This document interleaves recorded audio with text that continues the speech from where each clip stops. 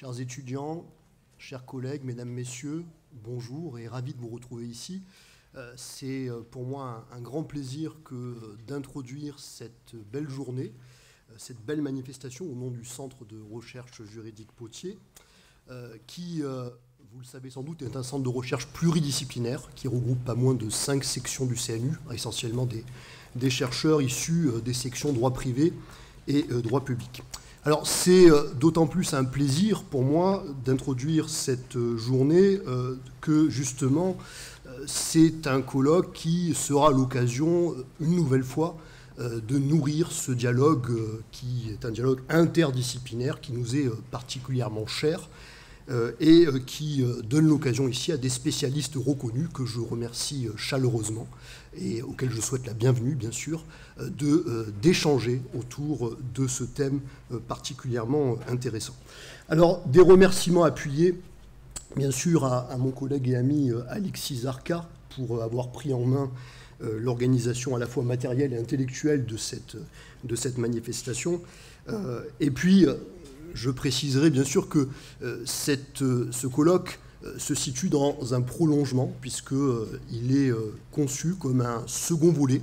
le second volet d'un diptyque en l'occurrence, après une première manifestation qui avait été organisée ici même il y a un an, presque jour pour jour, c'était le 8 décembre 2017. Ce colloque intitulé Regard croisé sur les obligations de l'agent public et du salarié,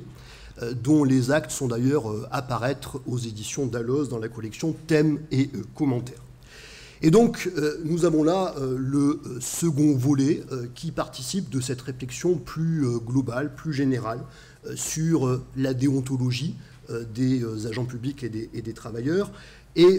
un thème qui finalement illustre le caractère très, très fécond de ces comparaisons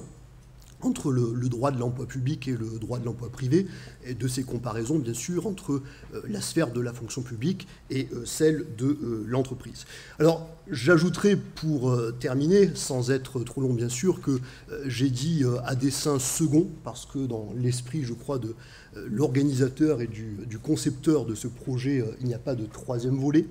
Euh, alors je le dis à regret, euh, mais euh, en tant que responsable, en tant que directeur du Centre de recherche juridique Potier, j'émets ici le souhait, bien sûr, que cette riche manifestation connaisse également des, des prolongements. Je n'en dirai pas plus, je vous remercie, je vous souhaite naturellement d'excellents travaux et de très riches débats aujourd'hui. Merci beaucoup.